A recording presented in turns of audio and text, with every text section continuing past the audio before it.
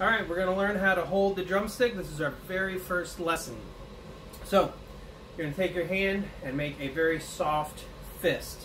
Your thumb is going to be between these two knuckles on your index finger. That's where your thumb is going to rest.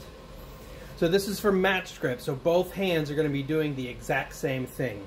So with that soft fist, you're going to find about a third of the way up the stick and just wrap your fingers around it just like you did the soft fist. So that's kind of how your fingers look. Just slide the stick in there. So right there, with these two fingers, your thumb, index, and your middle finger, that's kind of where the stick is going to pivot around. So get both hands set and just do this. I know it's kind of silly, get away from the practice pad, get away from the drum.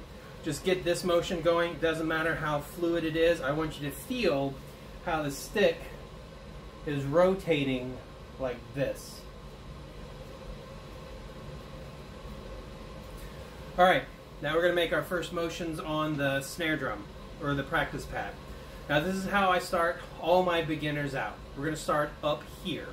Normally, eventually we'll get transition a little bit lower right now, right up here. Because the motion that we're imitating is kind of like bouncing a basketball. You're not going to slap it to the ground and hope for the best. You push the ball to the ground, the ball bounces back up into your hand. So you're just kind of following the ball back up into your hand. If you drop the stick onto the practice pad or the snare drum, it's going to bounce back. There's lots of spring in the practice pad and even the snare drum. Stick's going to rebound. And don't be afraid to hit it. It's a drum, it's going to be loud. Get some ear protection and you'll be good to go.